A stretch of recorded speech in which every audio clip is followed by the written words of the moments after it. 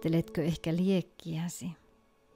Tänään mä kerron teemasta, joka koskettaa useitakin liekittäriä. Haasteena on tilanne, jossa sä jaat työpaikan sun liekin kanssa tai te olette samasta ystäväporukasta.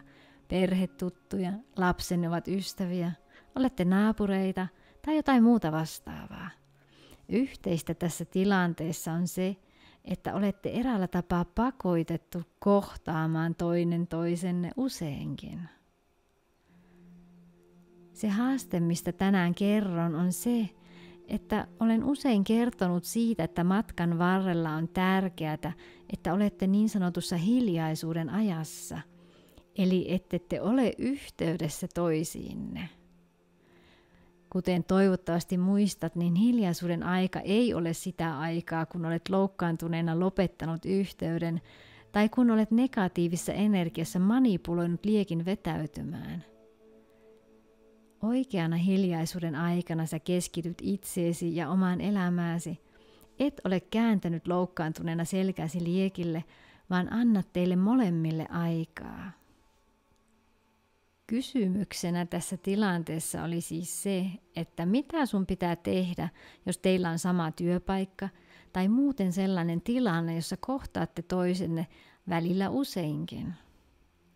Silloin, jos sä mietit, että miten hiljaisuuden aika voi edes onnistua, jos sinut eräällä tapaa pakotetaan jatkuvasti kohtaamaan liekki.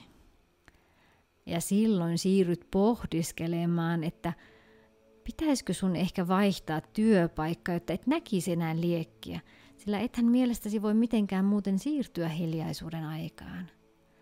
Tai pitääkö sinun kieltäytyä tietystä juhlista tai perhe- tai ystävyystapaamisista? Tai miten uskallat mennä edes kauppaan tai käydä kävelyllä, kun voit liekkinaapuriin törmätä vahingossa?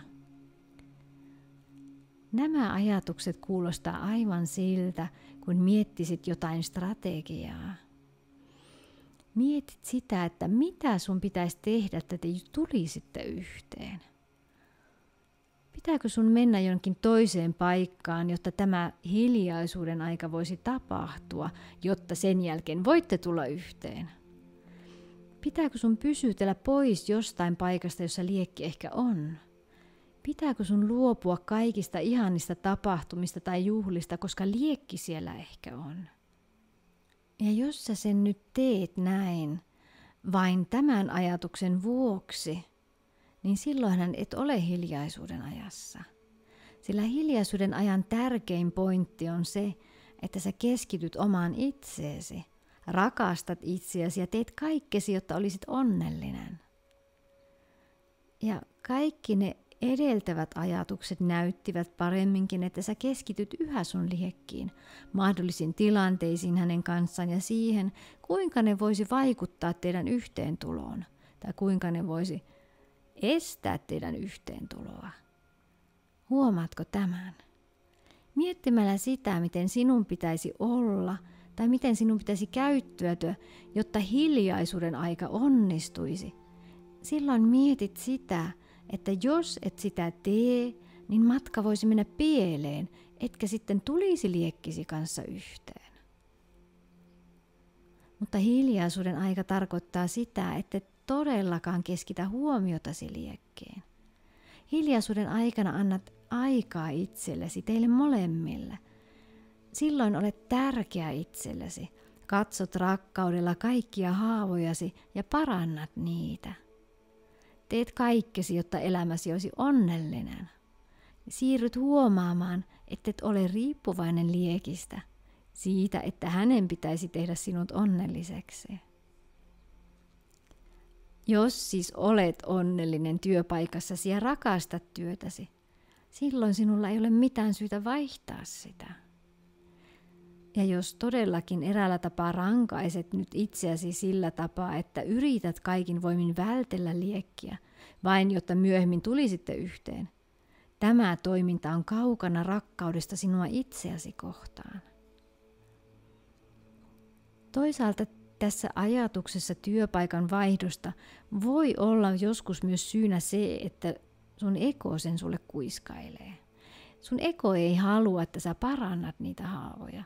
Ja jos olet liekkisi kanssa valinnut tämän tien, te olette sopineet ennen liekkimatkalle lähtöä, että kohtaatte toisenne työpaikalla, jotta voitte kaikki ne kokemukset tehdä, mitä olitte halunneet tehdä. Ja jos sä siis nyt vaihdat työpaikkaa, niin silloin sä välttelet niitä kokemuksia.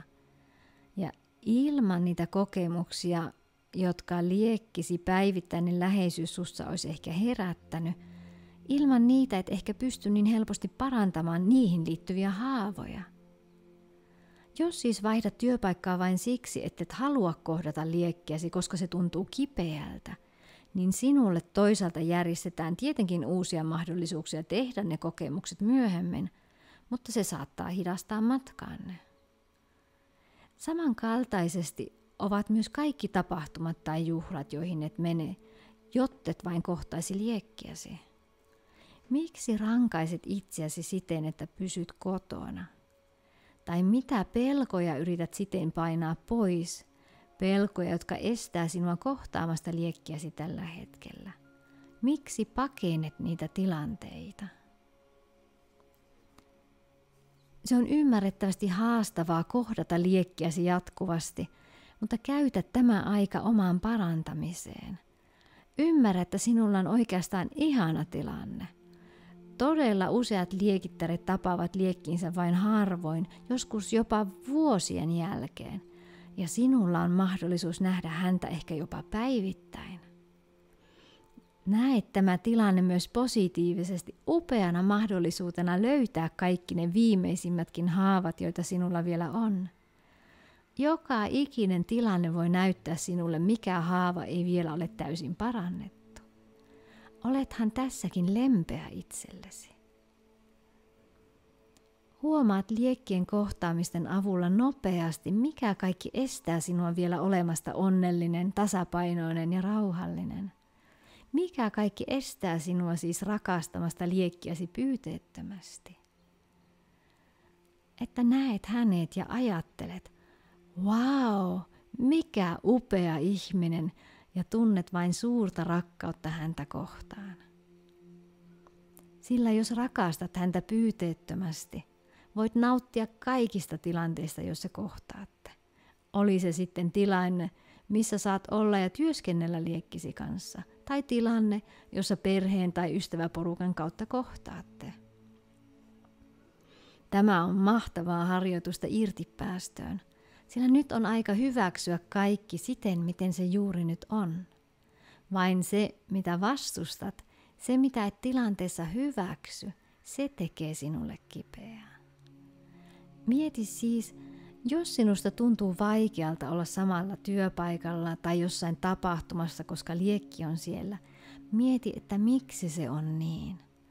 Mitä ajatuksia se sinussa herättää, kun kohtaatte – mitä pelkoja nousee pinnalle.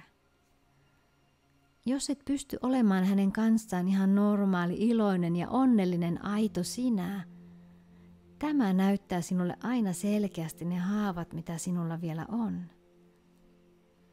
Usein yllättävät kohtaamiset ovat myös testejä universumilta. Niiden kautta huomaat, missä vaiheessa tällä hetkellä olet. Pysytkö tasapainoisena omassa voimassasi – vai nouseeko vanhat teemat sittenkin vielä pinnalle? Teille järjestetään aina tarpeen mukaan kohtaamisia, jotta voitte kehittyä. Tosiaankin tarpeen mukaan. Osalla teistä se on todella harvoin ja osalla päivittäin.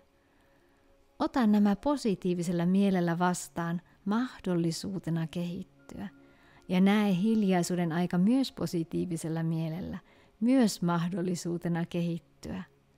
Kaikella on aina, ihan aina tarkoituksensa. Luota universumin ohjaukseen. Kiitos oikein paljon, että kuuntelit loppuun saakka ja näytätän, jos pidit tästä teemasta. Ja tilaamalla mun kanavan sä et missaa yhtään videota ja samalla tuet myös muita löytämään tämän kanavan. Otathan yhteyttä, jos haluat tutustua mun valmennukseen. Yhteystiedot löydät kotisivuillani sekä videon alla olevasta infoboksista. Kiitos sinulle, palataan pian. Hei hei!